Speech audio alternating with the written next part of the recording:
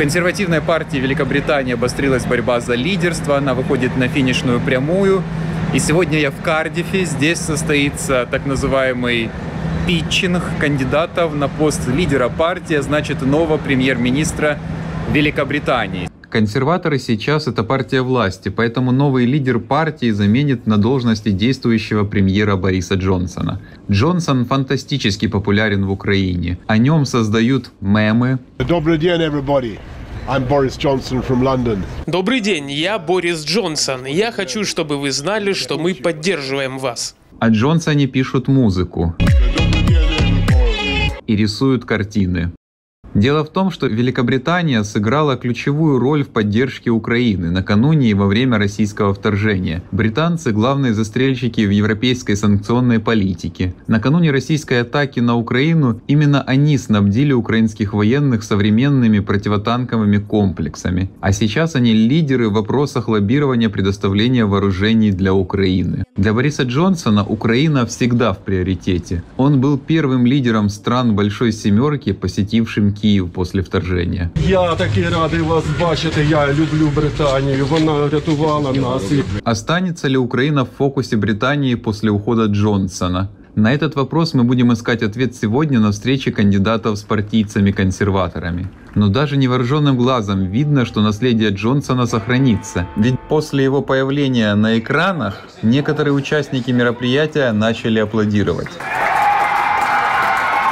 Для его партийцев Украина по-прежнему в приоритете, несмотря на непростое экономическое состояние Великобритании. Как вы думаете, что сегодня является главным для партии и для ее нового лидера?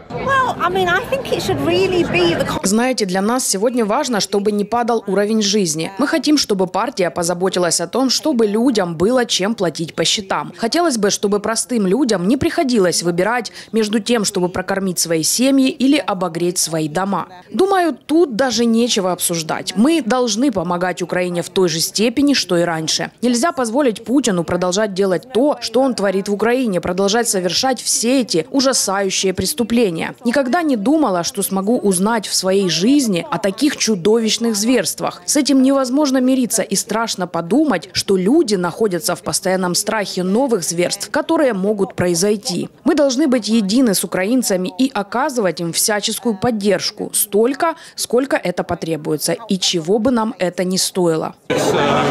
О нет, вам не стоит даже беспокоиться об этом. Уровень поддержки Украины останется неизменным. Мы продолжим оказывать всевозможную помощь вашей стране. Многим консерваторам нравится не только Украина, но и ее президент.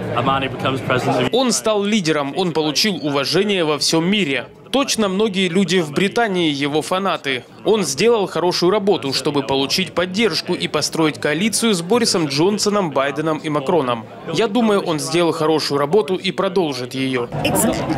Вы знаете, у меня просто нет слов. За ним очень приятно наблюдать и сложно сравнивать его с кем-то еще. Я вспоминаю свое впечатление, когда он только-только вступил в должность президента Украины. Это было такое неожиданное ощущение свежести, когда он так непосредственно просто подпрыгнул и поцеловал какого-то человека в голову, помните? И что важно, у него была возможность уехать. Да, он мог легко уехать за границу, но не сделал этого. Сейчас за лидерство в партии борется министр иностранных дел Ли Страс и бывший министр финансов Риши Сунак. И оба кандидата на смену Джонсону заявляют о безоговорочной поддержке Украины. Похоже, что Великобритания — это такая страна, где от перестановки слагаемых, либо чиновников, сумма не меняется. Риши Сунак заявил, что необходимо усилить Украину и ослабить Россию, в то время как Ли Страс рассказала о том, что уже сделано. Нам нужно противостоять Владимиру Путину и его ужасной войне в Украине. Мы были первой страной, отправившей оружие в Украину в Европе. Я горжусь тем, что мы наложили на Россию самые жесткие санкции, жестче, чем любая другая страна в мире. Но нам нужно сделать больше. Лиз Трасс, министр иностранных дел Великобритании.